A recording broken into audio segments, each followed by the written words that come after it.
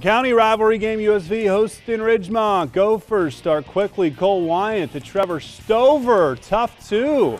Goes for number three. Then Wyatt feeding the post again. This time it's Wyatt James, the recipient. A 6-0 start for Green. Rams answer with Blake Stevens skipping it to Wyatt Daniels. Freshman sets his feet and splashes. 14.6 assists for Wyatt. Other end, Ridgemont Stover takes it hard to the hoop for a tough two, but USV shooting its way back. Stevens straight away. Rams roll big at home, 63-41. Double doubles for both Trevor Dotson, 20 points, 12 rebounds, and Wayne Lowry, 15 points and 13 boards.